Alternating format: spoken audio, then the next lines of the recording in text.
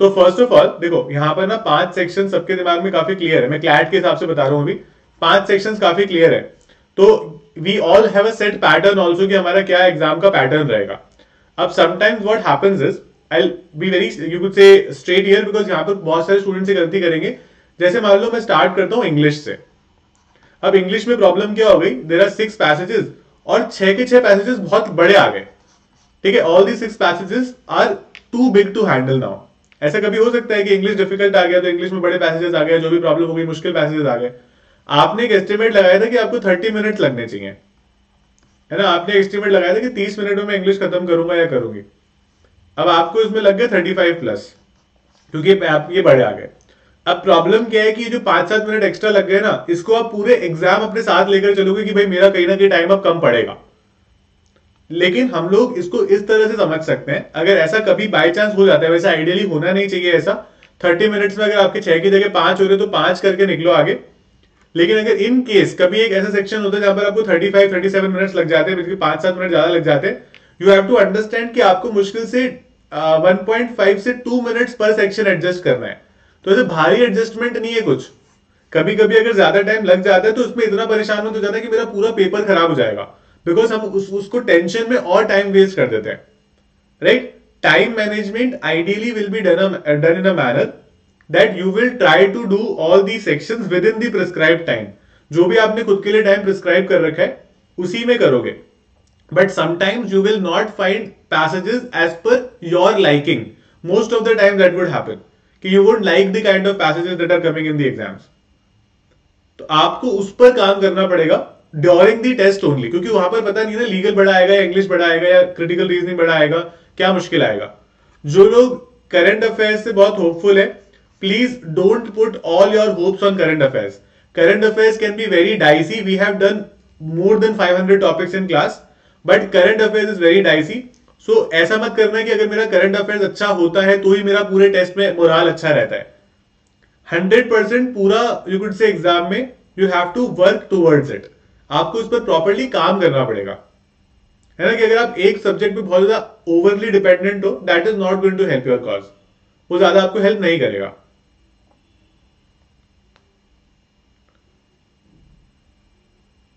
Right should we fill O M R sheet side by side तो side by side मतलब basically एक section की बात भर दो।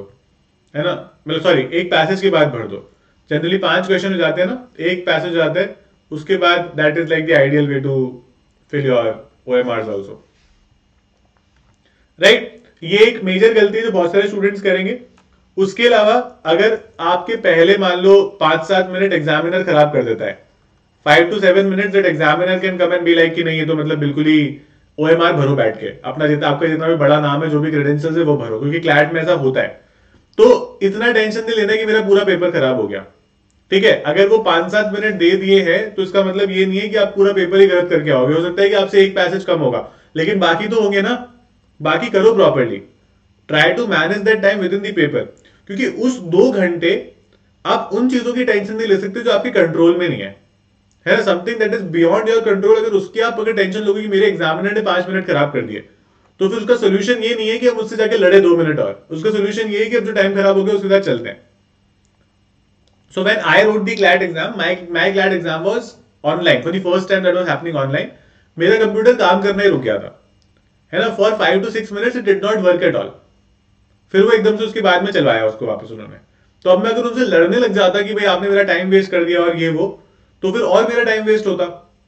तो अगर उसको लेके बहुत ज़्यादा टेंशन में आ जाओगे ना तो it will only you could say create more problems for you वो और ज़्यादा प्रॉब्लम्स क्रिएट करेगा। लीगल से स्टार्ट करना सही रहेगा। वो आप पर है। That is up to you I would suggest कि किसी रीडिंग वाले सेक्शन से ही स्टार्ट करना।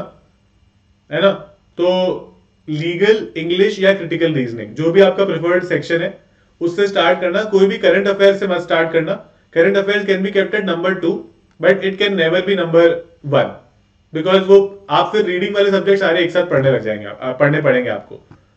तो इसीलिए लीगल से इंग्लिश से या क्रिटिकल रीजनिंग से ही स्टार्ट किया करो।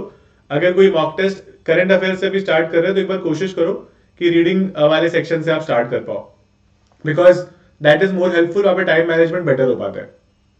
ओके अब कोई एक सेक्शन देख के आपको ऊपर ऊपर से लग रहा है कि ये मेरा मुश्किल सेक्शन है। चलो, मैं आपको एक रफ बता रहा हूँ। मान लो, मेरा पैटर्न है English GK legal CR and maths मैंने अब इंग्लिश कर लिया है, मैंने करंट अफेयर्स कर लिया है और मैंने मतलब करीब फोर्टी मिनट्स में दोनों कर लिए। अब मैं लीगल पे आया। तो लीगल पे अगर मेरे को लग रहा है कि लीगल के पैसेज थोड़े डिफ़िकल्ट लग रहे हैं।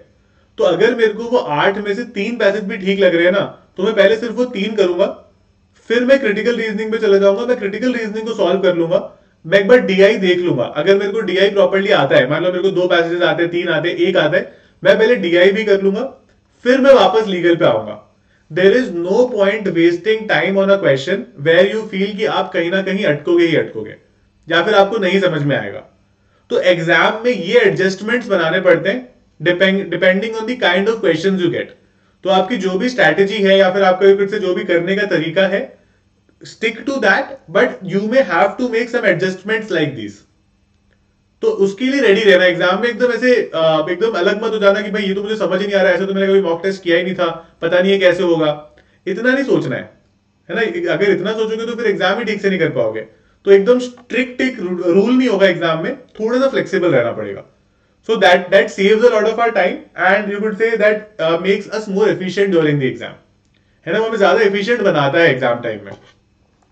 So try to always keep that in mind you will find lengthy passages you will find everything but try to solve the easier one first क्योंकि देखो क्लैट में मैं आपको बता रहा हूँ, कल भी 80 परसों मतलब जब भी आपका, कल तो एलेट है। क्लैट इज़ ऑन 18 तो 80 क्वेश्चंस के आसपास ऐसे होते हैं जो एवरेज आते हैं। जो आइडियली जिसने अच्छे से प्रिपेयर किया, उसको सॉल्व करना चाहिए। करीब करीब 30 क्वेश्चन ऐसे होते हैं जो डिफ़िकल्ट होते हैं। ठीक है? और फिर करीब 40 एक्चुअली 40 क्वेश्चन डिफ़िकल्ट होते हैं। और करीब 30 क्वेश्चन ऐसे होते हैं जो सिर्फ़ एक गुड क्लैड एस्पिरेंट जिसको बोलते हैं ना कि हम वो थोड़े वेरी डिफ़िकल्ट वाली कैटेगरी में डाल सकते हैं। तो अगर आप इस 80 में 70 भी ला सको, इस 40 में 20 भी ला सको और इस 30 में 10 भी ला सको, आपका ओवरऑल स्कोर 100 हो जाता है। तो उसके लिए जो एवरेज वाले, जो ऐसे वाले क्वेश्चन है ना, जहाँ पर आप गलती नहीं कर सकते हो, जो कि इजी वाले क्वेश्चन है, उसमें बहुत अच्छी एफिशिएंसी चाहिए। 80 में से 70 लाना कोई बहुत ज़्यादा यू से आसान बात नहीं है। 80 में से 70 लाने का मतलब है कि maximum question that you can do incorrect is, I think, seven. Seven और एट। है ना? आठ क्वेश्चन अगर आप गलत करोगे तो आपके 70 आएँगे। तो इसीलिए इस यहाँ पर आपकी एफिशिएंसी बहुत अच्छी रहनी चाहिए। यहाँ पर आपको 90 परसेंट एफिशिएंसी से काम करना पड़ेगा। यहाँ पर 50 परसेंट और यहाँ पर 33 परसेंट में चल जाएगी। लेकिन जो क्वेश्चन आसान है, जो जनरली लोग कर पा रहे हैं, वहाँ पर गलती मत करो। So a, good CLAD aspirant is that person who is not making those unnecessary silly mistakes. है ना? फालतू सिली मिस्टेक्स ऐसे वाले ना करें। राइट सैंपल पेपर्स में से ही कुछ क्वेश्चंस आ जाए फिर कोई पैसेज आ जाए। तो सैंपल पेपर तो हमने किए ही हैं। अगर वो आ गया तो बहुत ही अच्छी बात है। चांसेस बहुत कम है है ना? ऑलमोस्ट इम्पॉसिबल है। बट आ गया तो सैंपल पेपर तो हमने ऑलरेडी कर ही रखा है तो that is not a problem है ना? वो तो हम कर ही लेंगे। Shouldn't be an issue right और अगर कोई स्पेसिफिक क्वेश्चन है तो आप मेरे से पूछ सकते हो। If you guys have any other question anything particular that you would like to ask तो वो आप डेफिनेटली मेरे से अभी पूछ सकते हो। मॉक से रिलेटेड आपके एलिट एग्ज़ाम से रिलेटेड एलिट का टाइम मैनेजमेंट जनरली ऐसे होता है मैंने इस पर एक शॉर्ट भी बनाया था। 35 मिनट से 40 मिनट्स आप इंग्लिश को दे सकते हो। फाइव uh, मिनट्स आप जीके को दोगे। और अगर आप 40 मिनट्स इंग्लिश को दे रहे हो तो आप 45 मिनट्स लॉजिकल को दोगे, लेकिन अगर आप 35 दे रहे हो तो 50 मिनट्स लॉजिकल को दोगे। ये जनरली एक सही तरीका होता है। ठीक है this is the way to you could say manage your time there you can start with English normally है ना? करंट अफेयर्स में उसके करंट अफेयर्स और जीके में दोनों आता है स्टैटिक भी आता है। उसके बाद उसमें जाओ and then go with logical ठीक है? एलिट में सबसे इंपॉर्टेंट ये है कि you have to attempt maximum number of questions तो अगर आपको लग रहा है कि आपके अटेम्प्ट एटी नाइनटी पे रुक रहे तो उसको आराम से प्लस तीस, चालीस कर लेना खुद से। Ideal marks in 12 to CLAT yeah I think it is somewhere around 80 90 and अगर अगर हायर वाले उसमें चाहिए 80 90 90 plus is a very good score negative marks कितने होने चाहिए? यार डिपेंड करता है आपने अटेम्प्ट कितने करें। तो आप जितने भी अटेम्प्ट करें, उसके 10 से 15 परसेंट क्वेश्चन गलत है। जैसे जनरली ऐसा होता ही है। तो अगर आपने 125 अटेम्प्ट करे एंड आपने 15 परसेंट क्वेश्चन गलत कर दिए तो आप फिर भी 100 प्लस ले आओगे। तो that is not an issue है ना? ट्वेंटी परसेंट भी गलत कर दी तो एक बार वो एक्सेप्टेबल है। बट उससे ज़्यादा गलत करोगे तो प्रॉब्लम है। करंट अफेयर के लिए क्लैट का आइडियल टाइम है हंड्रेड और सॉरी हंड्रेड क्या बोल रहा हूँ? टेन मिनट्स सॉरी क्लैट का आइडियल टाइम है टेन मिनट्स और एलेट का आइडियल टाइम है five minutes I score 98 98 is very good but make sure कि आप ना चीज़ों को ठीक से वापस से रीड कर रहे हो रिवाइज कर रहे हो। है ना? तो अब मॉक्स वॉक्स सब एकदम ज़ीरो पे आ जाओगे वापस। जिस दिन एग्ज़ाम देने जाओगे ना तो आपके उस दिन चाहे मार्क्स में सौ आ रहे हो, चाहे एट्टी आ रहे हो, उस दिन सब सेम प्लेइंग फ़ील्ड पर है। उस दिन जैसा परफॉर्म करोगे, उस पर डिपेंड करेगा। अगर बहुत ज़्यादा टेंशन लेकर करोगे, बहुत ज़्यादा स्ट्रेस लेकर करोगे तो वो कहीं भी हेल्प नहीं करेगा।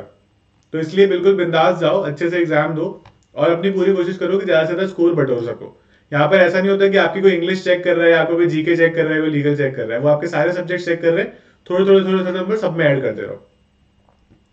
राइट हम लोग कई बार क्या होते हैं, बहुत इमोशनल होते हैं सब्जेक्ट को लेके कि यार जीके कैसे नहीं आ रहा लीगल कैसे नहीं आ रहा है तो मैं आता था हमेशा से। नहीं आ रहा, नहीं आ रहा, आगे बढ़ो। ठीक है? वहाँ पर ऐसे वो एकदम ब्रेकअप वाली फीलिंग नहीं आनी चाहिए कि तो हमारा लीगल ने हमें धोखा दे दिया लास्ट मोमेंट पे। ठीक है? लीगल ने धोखा दे दिया तो इंग्लिश को पकड़ो सीआर को पकड़ो डीआई को पकड़ो, बाकी सेक्शंस को पकड़ो।